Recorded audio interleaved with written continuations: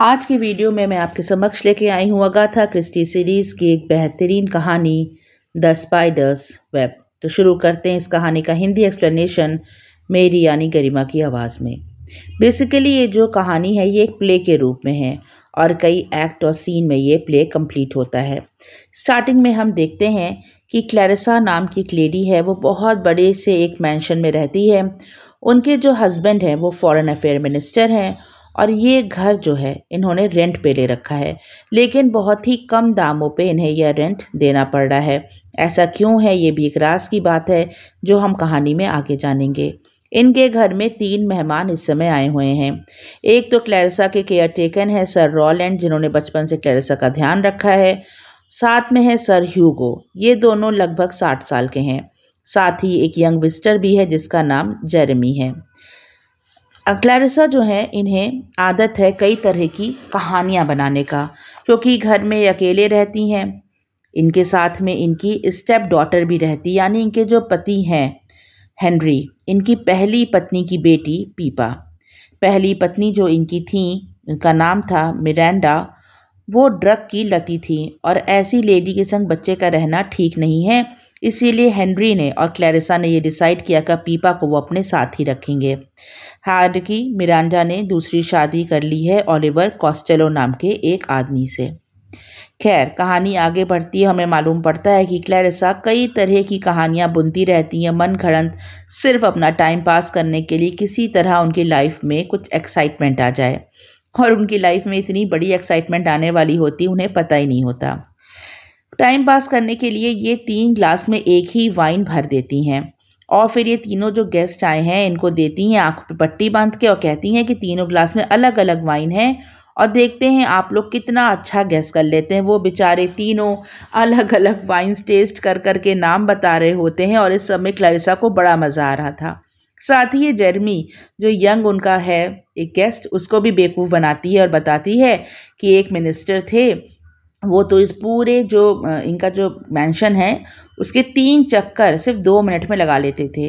वो बेचारा जेरेमी जो था, वो बहुत तेज़ तेज़ दौड़ता है, लेकिन कहता है कि ना जाने वो कैसे दो मिनट में तीन चक्कर लगा लेते थे, मैं नहीं कर पाया। तब क्लैरिसा खूब हंसने लगती है और कहती है कि ऐसा कुछ भी नहीं था। जर्मी कहता है कि तुम इस तरह की जो कहानियाँ बुनती हो तो कभी ऐसा ना हो कि तुम्हारी बिनी हुई कहानी पे कोई विश्वास ही ना करे। जैसे अक्सर हम हिंदी छोटी छोटी कहानियाँ पढ़ते हैं कि शेर आया शेर आया, और जब सचमुच में शेर आता है तो कोई विश्वास नहीं करता। ऐसे ही कुछ होने वाला था क्लैरिसा के संग। क्लैरिसा करती, कहती है कि मैं क्या करूँ? इतनी बोरिंग मेरी लाइफ है, इसमें कुछ एक्साइटमेंट तो चाहिए ही। खैर, ये तीनों जो गेस्ट थे सर रॉल एंड ह्यूगो और जर्मी ये चले जाते हैं गोल्फ खेलने के लिए। और इधर पीपा जो है, वो स्कूल से आती है। पीपा बेचारी हमेशा भूखी ही रहती थी। उसको हर समय कुछ ना कुछ खाने का मन करता था। इसीलिए क्लैरिसा उसे कुछ बन और बटर देती है खाने के लिए। क्लैरिसा बहुत ही एक्टिव लड़की दिखाई गई और दिमाग से भी बहुत तेज़ है। इसके घर घर के चप्पे चप्पे के बारे में इसे पता है। कहाँ पर छुपा हुआ दरवाज़ा है, कहाँ पर क्या है, सारे सीक्रेट जानती है इस नए घर के। क्लैरिसा और ये पीपा दोनों बातें करने लगते हैं घुल मिल के। पीपा अपने कार्ड्स निकालती है, खेलने लगती है, तभी जेरेमी वापस लौट आता है। जेरेमी को बताती है पीपा कि इस घर में एक सीक्रेट डोर है, जो कि लाइब्रेरी के पीछे है। वो धीमे से एक बटन दबाती है और सीक्रेट डोर खुल जाता है। वह कहती है कि हाइड एंड सीख खेलने के लिए या फिर लाश छुपाने के लिए बड़ी अच्छी जगह है। तभी पीपा जाती है, जैसे ही कुछ काम से अंदर उसकी मम्मी उसको पुकारती हैं तो जेरेमी बड़े आश्चर्यजनक रूप से एक एंटीक टेबल की तलाशी लेने लगता है। वह टेबल इनके पुराने मालिक का है, जो यहाँ पहले रहते थे, और अब ये इनके पास है। तभी इनकी जो गार्डनर है, जहाँ जो गार्डनर का काम करती है, उसका नाम मिस पीक है। मिस पीक बहुत ही लंबी, चौड़ी की लेडी है। वह तुरंत आती हैं और कहती हैं, सर, आपको क्या चाहिए? आप क्या ढूंढ रहे हैं? जर्मी चौक जाता है। कहता है, नहीं नहीं, इतना सुंदर टेबल है कि मैं इसको ज़रा ध्यान से देख रहा था। अब आश्चर्य की बात ये थी कि जो इनके पुराने मालिक थे, उनका हुआ क्या? और क्यों आखिर ये घर इतने सस्ते दामों पर दिया गया है? ये हम कहानी में आगे जानेंगे, ये बहुत इंपॉर्टेंट बात है। कहानी हमारे आगे बढ़ती है और हमें मालूम पड़ता है कि जर्मी जो है, वो वापस चला गया है सर रॉलैंड और ह्यूगो के संग डिनर करने के लिए, क्योंकि क्लैरिसा की जो कुक है, वो हस्बैंड वाइफ हैं, वो दोनों रात में घूमने के लिए बाहर गए हैं। पीपा को ये सुलाने चली जाती हैं, क्लैरिसा? और तभी ये नीचे जब आती हैं तो इन्हें एक फ़ोन कॉल आता है। फ़ोन पूछा जाता है कि क्या आप मिसेस ब्राउन बोल रही हैं? तो क्लैरिसा कहती है हाँ मैं मिसेस हेलिशम ब्राउन बोल रही हूँ, तभी फ़ोन कट जाता है। और थोड़ी ही देर में वहाँ पर एक आदमी आता है, जिसको देख के क्लैरिसा को बिल्कुल भी खुशी नहीं होती। दरअसल क्लैरिका, क्लैरिसा का जो पति है, मिस्टर हेनरी, जो फॉरेन अफेयर मिनिस्टर हैं, बहुत ही इंपॉर्टेंट और सीक्रेट तौर पे दो गेस्ट को, जो कि मिनिस्टर हैं, उन्हें रिसीव करने के लिए एयरपोर्ट गए थे, जो कि वहाँ से पंद्रह किलोमीटर की दूरी पे था। उनको आने में भी काफ़ी टाइम लगेगा। इसीलिए अकेले में वो जो गेस्ट आया था इनके यहाँ, ओलिवर कॉस्टेलो उसे देखकर क्लैरिसा बिल्कुल भी खुश नहीं होती। और इवर कॉस्टेलो, जिसके बारे में मैंने पहले भी बताया है कि वह मिरांडा का पति, यानी कि हेनरी की जो पहली पत्नी है, उसका हस्बैंड है। और एक तरह सा पीपा का स्टेप फादर है। वह पूछता है क्लैरिसा से कि तुम यहाँ क्या कर रही हो? तो क्लैरिसा कहती है, मैं क्या कर रही हूँ? मैं इस घर में रहती हूँ। वह तुमने ये घर कब खरीद लिया? बोली, खरीदा नहीं, हम लोग रेंट पे हैं। तो बोलो, और कितना रेंट दे रही हो? तो ये बोलती है, हम लोग दो सेंट दे रहे हैं एक महीने के।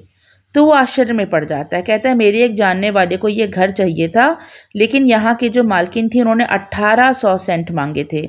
तब तुम्हें इतने सस्ते में क्यों दे दिया? तुम तो बिल्कुल फ्री में रह रही हो। ये सब बातें क्लैरिसा को अच्छी नहीं लग रही थी। वह उसे पूछती कि, तुम जल्दी बताओ, तुम यहाँ पे क्यों आए हो? तो ये कहता है कि मैं पीपा को वापस ले जाने आया हूँ। अब उसकी छुट्टियाँ आ रही हैं तो वो अपनी मम्मी के पास रहेगी। क्लैरिसा कहती है कि कोर्ट ने उनका जो पूरा था, उसको पालन पोषण की ज़िम्मेदारी थी पीपा की केयर टेकिंग की, वो क्लैरिसा और उसके पति हेनरी को दे रखी है, इसीलिए मिरांडा का अब इसमें कोई भी अधिकार नहीं है क्योंकि वो एक ड्रग एडिक्ट है और पीपा वहाँ पर सेफ़ नहीं होगी, वो सिर्फ़ बारह साल की है। तब कौसा भी पीपा ऊपर से उतर आती, वह सोई नहीं थी और कॉस्टेलो को देख के वो बहुत घबरा जाती। है उसके मन में बड़ी ख़राब यादें थी अपने स्टेप फादर को लेके और वह ज़ोरों से आके क्लैरिसा से लिपट जाती और कहती, इसे जल्दी से यहाँ भगा दो, मम्मी। क्लैरिसा बहुत तेज़ गुस्साती है और वह बुलाती है मिस पीक को और कहती है कि इस आदमी को यहाँ से जल्दी से जल्दी रवाना करना होगा। खैर कॉस्टेलो चला तो जाता है, लेकिन वह ज़्यादा देर के लिए नहीं जाता। उसकी गाड़ी बाहर ही खड़ी थी और वह बाहर पेड़ों की झुरमुट में छुप जाता है, क्योंकि वो किसी खास मकसद से उस घर में आया था। वह मिलने नहीं आया था क्लैरिसा से, उसका एक खास मकसद था। फिर से पीपा सुला दी जाती है और फिर से क्लैरिसा नीचे आती है। जब क्लैरिसा नीचे आती है तो कुछ उसके पैरों से टकराता है। जब वह देखती है तो वह देख के चौंक जाती है कि सोफे के पीछे ज़मीन पर कॉस्टेलो की डेड बॉडी पड़ी थी। उसकी चीख निकल जाती है। उसकी चीख सुन के पीपा फिर से नीचे आती है और कहती है कि ये मैंने क्या कर दिया मॉम? मैं उसे मारना नहीं चाहती थी, मैं उसे सिर्फ़ बेहोश करना चाहती थी, लेकिन ये तो मर गया। क्लैरिसा कहती, पीपा से तुम्हें मैं कुछ भी नहीं होने दूँगी और मैं सब कुछ हैंडल कर लूँगी। बहुत ही अच्छा यहाँ पे कैरेक्टर दिखाया गया है क्लैरिसा का और आगे भी दिखाया जाएगा कि किस तरह पीपा उसकी सगी बेटी नहीं थी, लेकिन उसकी रक्षा करने के लिए वह वो सब जतन करती है जो एक सगी माँ करेगी। वह पीपा को ऊपर सुला के आती है और अब उसे समझ में नहीं आ रहा था कि वो क्या करे, क्योंकि थोड़ी ही देर में हेनरी आ जाएगा, वो मिनिस्टर्स को लेके और वो किसी भी तरह का स्कैंडल खड़ा होना नहीं देखना चाहती थी। तब वो फ़ोन करती है सर रॉलेंट को और सर ह्यूगो को और कहती है कि आप तीनों जल्दी से जल्दी घर आ जाइए, यहाँ बहुत ज़्यादा एक ज़रूरी एक कुछ हो गया है, ऐसा केस हो गया है। तीनों जब वापस आते हैं तो वह बताती है कि देखो, यहाँ पर ये ओलिवर कॉस्टेलो है, इसकी डेड बॉडी पड़ी है और थोड़ी ही देर में उसके हस्बैंड आ जाएँगे, इसीलिए हम लोग को ये डेड बॉडी जल्दी जल्दी ठिकाने पहुँचानी है। सब चौंक जाते हैं, कहते हैं कि किसने मारा? तो बोली, ये मुझे नहीं पता इसको किसने मारा, लेकिन हमें ये काम जल्दी करना होगा। यहाँ पर प्ले का पहला भाग ख़त्म होता है और हम आ जाते हैं प्ले के दूसरे भाग पर। अब सुनते हैं दूसरा पार्ट पहले तो सर रोलैंड ये काम करने को तैयार नहीं होते, वो कहते हैं कि हमें पुलिस में इन्फॉर्म करना होगा। लेकिन जब क्लैरिसा उन्हें बताती है कि इसकी हत्या पीपा के हाथों हो गई है और वो नहीं चाहती कि पीपा किसी भी तरह की मुसीबत में पड़े तो सब तैयार हो जाते हैं कि जल्द से जल्द इसकी बॉडी हम लोग को उसी के कार में रख के और दो किलोमीटर दूर एक जंगल है, वहाँ पर छोड़ कर आनी है। लेकिन यहाँ पर एक फिर से दुर्घटना होती है और कॉल बेल बच जाती है। सब घबरा जाते हैं कि इस वक्त रात में कौन आया है। और वो देख के और ज़्यादा चौंक जाते हैं कि वहाँ पर और कोई नहीं, पुलिस इंस्पेक्टर आए थे। अब क्लैरसा समझ नहीं पाती है कि क्या करना चाहिए। तभी उसे एक आइडिया आता है, वह कहती है कि लाइब्रेरी के पीछे छुपा हुआ जो कमरा है, गुप्त कमरा, थोड़ी देर के लिए इन लोग इसकी बॉडी वहीं पे छुपा देंगे और जब इंस्पेक्टर चले जाएँगे, तब फिर से इन लोग उस बॉडी को ठिकाने पहुँचा देंगे। जल्दी से वह कमरा खोला जाता है और तीनों मिल के उस बॉडी को अंदर रख देते हैं। और यहाँ पे थोड़ा सा कॉमिक सीन है कि सर रॉलैंड और सर ह्यूगो तो निकल आते हैं, लेकिन जर्मी अंदर ही छूट जाता है। उधर दरवाज़ा खोलने के लिए क्लैरसा चली जाती है। तभी इन लोग को याद आता है कि अरे, जर्मी कहाँ है? तो जल्दी से दरवाज़ा खोल के जल्दी से जर्मी को फिर से बाहर निकाला जाता है और वो फिर से बंद कर दिया जाता है गुप्त कमरा। खैर, पुलिस इंस्पेक्टर आते हैं और बताते हैं कि उन्हें एक फ़ोन कॉल आई है। यहाँ पर एक आदमी का कत्ल हुआ है। सबके चेहरे पे हवाइयाँ उड़ने लगती हैं। अब क्लैरिसा ने एक अक्लमंदी का काम और किया था। उसने जल्दी जल्दी वहीं पे जो सेंटर टेबल होता है सोफ़े के आगे, वहाँ पर ताश के पत्ते बिछा दिए थे और ऐसा दिखाया जा रहा था कलेबाई बनाई गई थी कि हम सब तो मिल तीनों यहाँ पर ताश खेल रहे थे। तो क्लैरिसा कहती है कि हम लोग कुछ नहीं पता, हम तो सब बैठ के यहाँ पे ताश खेल रहे थे। पुलिस इंस्पेक्टर बड़े ध्यान से ताश के पत्तों को देखता है। वहीं पर स्कोर कार्ड भी रखा गया होता है कि कौन सा मैच कौन जीत रहा था। ब्रिज का गेम रखा जाता है कि ब्रिज का गेम खेला जा रहा था और पॉइंट्स कैलकुलेट किए जा रहे थे। पुलिस इंस्पेक्टर का संग उनका हेल्पर भी आता है। वो बताता है कि सर बाहर ऑलिवर कॉस्टेलो नाम के एक आदमी की गाड़ी खड़ी है, घर के पास में ही। लेकिन वो आदमी कहा है? उसका कोई ठिकाना नहीं है, क्योंकि उसकी कुछ आइडेंटिटी होगी उस गाड़ी के अंदर, इसीलिए मालूम पड़ गया था। क्लैरिसा कहती है कि वो इस आदमी के, इस नाम भी किसी भी आदमी को नहीं जानती, क्योंकि उन्हें पीपा को सेव करना था। सबकी गवाही ली जाती है। सर रॉलैंड कहते हैं कि हम लोग तो गोल्फ क्लब में थे और डिनर कर रहे थे, तभी फ़ोन आया था क्लैरिसा का तो मैं और सर ह्यूगो तुरंत वहाँ से चले। तो इंस्पेक्टर साहब पूछते हैं, और जर्मी, ये कब आया? तो बोले, ये भी थोड़ी देर बाद हम लोग को इसने ज्वाइन कर लिया था और हम तब तीनों इकट्ठे ही घर आ गए थे। यहाँ पर जब हम आए तब हम लोग ब्रिज का गेम खेलने लगे और फिर आपकी कॉल बेल बजी तो आप आ गए। अब ये सारी बातें करके इन लोग पुलिस इंस्पेक्टर को भगाने वाले थे, तभी अचानक से पुलिस वाला जो था, वो मिस पीक को बुला लेता है।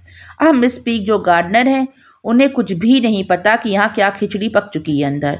वो इंस्पेक्टर साहब को उस गुप्त कमरे के बारे में बता देती हैं, जो लाइब्रेरी के पीछे था।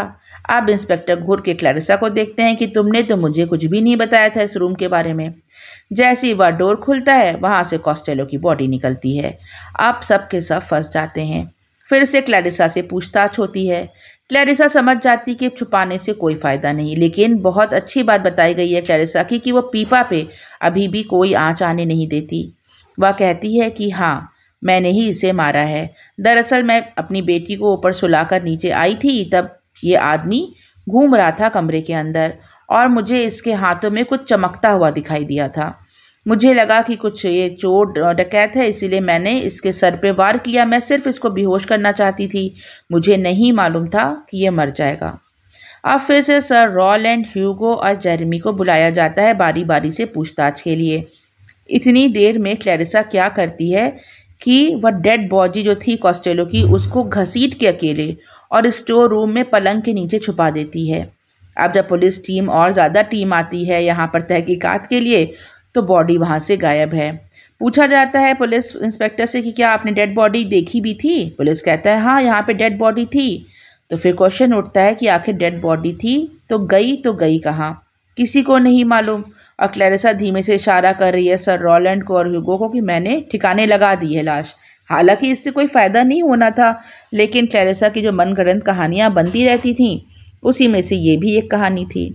इंस्पेक्टर साहब को क्लैरिसा पर सबसे ज़्यादा शक है। उन्हें पूरा यकीन है कि क्लैरिसा ने जानबूझ के कॉस्टेलो की हत्या की है। सिर्फ़ ये जो बता रही है कहानी कि वो रात में आया, चोर की तरह घूम रहा था, ये सब मन घड़ंत कहानी है। उधर पुलिस इंस्पेक्टर लोग पूरे घर में छानबीन करने लगते हैं। इधर क्लैरिसा का दिमाग एक तरफ़ अचानक से जाता है।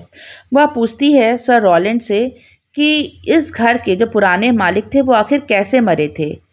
तो सर रॉलैंड कहते हैं, मुझे ठीक से नहीं पता। तो मिस पीक कहती हैं, मुझे पता है वो कैसे मरे थे। वो अपनी शॉप पे थे। उनकी एंटिक सामान की शॉप थी जो उनके घर के पास में ही है। और सीढ़ियों से ऊपर से गिर के वो मर गए थे। उन्होंने एक नोट में ऊपर लिख रखा था कि उन्हें बहुत महँगी कोई चीज़ मालूम पड़ी है कि उनके घर में कोई एक बहुत महँगा एंटीक का सामान है, जो उन्हें पहले नहीं पता था और वो लगभग चौदह हज़ार पाउंड्स का हो सकता है। सब चौंक जाते हैं ये बात सुन के कि इतना महँगा कौन सा सामान है इस घर में? तो क्लैरिसा कहती है, ऐसा तो नहीं कि वो चोर जो था, कॉस्टेलो मीन्स वो भी तो एक ड्रग डीलर ही था। वो कुछ सामान से मालूम पड़ा और इसीलिए वह चोरी करने के लिए इस घर में आया हो। क्लैरिसा कहती है कि पुराने सामानों में सिर्फ़ एक एंटिक टेबल ही है जो यहाँ पर रह गया है। अब इतनी देर में पीपा फिर नीचे आ गई थी। इन लोग को डर लग रहा था कि पीपा कहीं सब कुछ घबरा के पुलिस इंस्पेक्टर को बता ना दे। पीपा कहती है कि हाँ हाँ इस ड्रॉर में एक है, सीक्रेट रूम मीन्स एक ड्रॉर है और इसने जर्मी को उस दिन वह ड्रॉर दिखाया भी था। हालाँकि उसके अंदर एक एनवेलप में कुछ पेपर्स थे, जो छुपा के पीपा ने पहले ही अपने रूम में रख लिए थे। उसमें जो क्वीन एलिजाबेथ हैं, उनके ऑटोग्राफ हैं और एक दो बड़े बड़े जो राइटर्स हैं, उनके भी ऑटोग्राफ हैं। लेकिन ऑटोग्राफ्स कितने रुपए के होते हैं? शायद दो पाउंड बहुत ज़्यादा वैल्यूएबल हुए तो दस पाउंड क्लैरिसा, सोचने लगती है कि आखिर उसके घर में क्या इतना महँगा छुपा है, जिसकी चोरी करने के लिए कॉस्टेलो आया और फिर शायद किसी ने उसका खून कर दिया। तभी क्लैरिसा बोलती है, सर ह्यूगो से कि जो हमारे घर के पास में वो शॉप है, जो इस पुराने मकान मालिक की है, उसका पूरा नाम आपको पता है? तो कहता है, ह्यूगो कि मैंने ध्यान नहीं दिया हाँ किसी मिस्टर ब्राउन की शॉप है। कहती है क्लैरिसा, बिल्कुल। जब उस दिन कॉल आया था तो किसी ने मुझसे पूछा था कि क्या आप मिसेस ब्राउन हैं? और जब मैंने उससे कहा था कि हाँ मैं मिसेस ब्राउन हूँ तो फ़ोन कट गया था। और जब कॉस्टेलो उससे मिलने आया था, तब वो आश्चर्य से पूछा था उसने कि तुम यहाँ क्या कर रही हो? मैं तो मिसेस ब्राउन से मिलने आया था। इसका मतलब कि जो यहाँ के पहले मालिक थे, उनका नाम भी सर नेम ब्राउन था और हमारा भी ब्राउन है। और शायद इसी कारण से हम लोग को ये घर बहुत सस्ते दामों पे दिया गया है। हमें पता करना होगा कि आखिर जो मिस्टर ब्राउन थे, उनकी पत्नी मिसेस ब्राउन कहाँ पर हैं? क्योंकि हो सकता है उनका कोई हाथ हो इस कत्ल में। तभी वहाँ पर मिस पीक जो थी वो बिल्कुल हिस्टेरिक हो जाती हैं और तेज़ तेज़ रोने चिल्लाने लगती हैं। सबको आश्चर्य होता है कि इनको क्या हो गया आखिर। तब मालूम पड़ता है कि वो मिसेस ब्राउन मिस पीक ही हैं। मिस पीक कहती हैं कि हाँ तुम लोग को ये घर क्यों सस्ते दाम पे गया है, मुझे पता है। क्योंकि यहाँ जो भी आता था रहने, किसी का भी सर नेम ब्राउन नहीं था। मेरे पति की हत्या की गई थी। उन्हें सीढ़ियों पर से ऊपर से ढकेल के मारा गया था, क्योंकि उनके पास कोई बहुत ही बहुमूल्य सामान था, जिसके बारे में मुझे भी नहीं पता। मैंने ये घर इसलिए तुम लोग को सस्ते दाम पे दिया कि कोई भी मिसेस ब्राउन या मिस्टर ब्राउन के बारे में जब तहकीकात करते हुए आएगा चोरी करने के इरादे से तो वो इस घर में ज़रूर आएगा। और वो उस घर में आके छानबीन भी करेगा। जैसे उस दिन सर जर्मी कर रहे थे, तब मैंने उन्हें देखा था। जर्मी कहता है कि हाँ मैं इस ड्रॉर को खोल रहा था, तभी पीपा ने मुझे एक सीक्रेट ड्रॉर के बारे में बताया था और वह कह रही थी कि कुछ इंपॉर्टेंट ऑटोग्राफ्स उसे इसमें रखे हुए मिले थे। तभी पीपा उठती है और वह कहती है कि मुझे नहीं मालूम था कि उस किताब में लिखी हुई हर चीज़ इतनी सच्ची होगी। मैंने तो सिर्फ़ खेल किया था। क्लैरिसा समझ नहीं पाती कि वह किस किताब की बात कर रही है।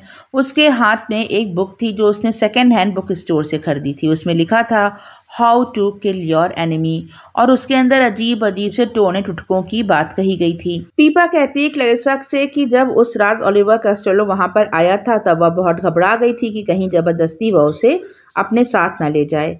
इसीलिए उसने किताब में पढ़ के एक कैंडल का बबुआ बनाया और कैस्टेलो का नाम लेके उसमें सुई चुभो दी थी। लेकिन उसे ये नहीं लगा था कि उससे मर जाएगा कॉस्टेलो अब ये बात सुन के सारे सने रह जाते हैं, क्योंकि सब लोग तो यहाँ पीपा को ही सेव कर रहे थे। क्लैरिसा बोलती है कि अगर पीपा ने उसे नहीं मारा, तब किसने खून किया? और इसने जो पुलिस के सामने गवाही दे दी कि उसने ही खून किया है। तब सर रॉलेंट कहते हैं कि तुम जल्दी से पुलिस को बता दो सब सच्चाई, कि क्या क्या हुआ था। तब कहती है क्लरिसा कि मैं इतना झूठ बोल चुकी हूँ पुलिस से कि अब पुलिस मेरी कहानी पर शायद ही विश्वास करे। पीपा वहीं सोफे पे सो जाती है, पुलिस इंस्पेक्टर लोग चले जाते हैं, वहाँ से सर रॉलैंड और हुगो भी पुलिस इंस्पेक्टर के साथ जाते हैं। उन्हें वहाँ पे कार में कुछ इंस्पेक्शन करना था, क्योंकि उन्हें ग्लव्स भी मिले थे। वही ग्लव्स जिसको पहन के ये लोग लाश को ठिकाने लगाने वाले थे। इधर जब अकेली थी पीपा, वहीं पर जर्मी भी बैठा हुआ था। और जब क्लैरिसा आ रही थी ऊपर से नीचे उतर के, तब वह देखती है कि जर्मी जो है एक तकिए से पीपा का मुँह दबा रहा है। बहुत घबरा जाती है क्लैरिसा और तेज़ी से चीखती है और जर्मी को पीछे ढकेलती है। कहती है, तुम क्या कर रहे थे पीपा के संग? जर्मी कहता है, कुछ नहीं, मैं कुछ भी नहीं कर रहा था। मुझे तो मैं इससे पूछ रहा था सिर्फ़ कि वो एनवेलप तुमने कहाँ पे रखा है, जिसमें वो सब साइंस हैं मीन्स जितने भी नामी गिरामी हस्तियों के? तो क्लैरिसा कहती कि, नहीं नहीं, ये सच्चाई नहीं है। क्या तुमने ही उस दिन मारा है ओलिवर कॉस्टेलो को? क्योंकि उसे गोल्फ की स्टिक से ही मारा गया है, और गोल्फ तो तुम भी खेलने गए थे। तब अचानक से जेरमी का चेहरे की रंगत बदल जाती है। वो कहता है कि अगर तुमने अपने मुँह खोलने की कोशिश की तो तुम्हारा और पीपा का वही अंजाम होगा जो कॉस्टेलो का हुआ है। कैरिसा कहती है, रुको रुको, मुझे सब कुछ समझ में आ रहा है। तुम सर रॉलैंड और ह्यूगो के साथ उस दिन नहीं आए थे। तुम उन लोग के संग वहाँ डिनर नहीं करे तुम तो कहीं बाहर थे। जब उस रात को ओलिवर कॉस्टेलो यहाँ फ्रेंच खिड़की से अंदर घुसा था। कुछ बहुमूल्य यहाँ चुराने के लिए जो मुझे नहीं पता कि क्या चीज़ है, तब तुम पीछे से आए। तुम्हें ऐसा लगा कि कॉस्टेलो ने वो चीज़ चुरा ली है। इसलिए तुमने कॉस्टेलो के सर पे वार किया, उसे वह चीज़ छीनने के लिए, लेकिन शायद तुमको वो चीज़ नहीं मिली। इसलिए तुम यहाँ से भाग गए और फिर तुम आराम से सर रॉलैंड और ह्यूगो के संग गेस्ट बन के वापस अंदर आए। कहता है उससे, जर्मी कि तुम्हारा दिमाग तो सचमुच में बहुत तेज है, क्लैरिसा। लेकिन पुलिस अब तुम्हारी किसी भी कहानी पे विश्वास नहीं करेगी, क्योंकि तुमने उन्हें इतनी तरह तरह की बातें बताई हैं।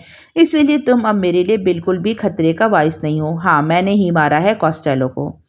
ये बात वो कह रहा तभी दरवाजे के पीछे से police inspector sir Roll and Hugo अंदर आ जाते हैं। उन्होंने सारी बातें सुन ली थी। पुलिस तुरंत अरेस्ट कर लेती है। जर्मी को।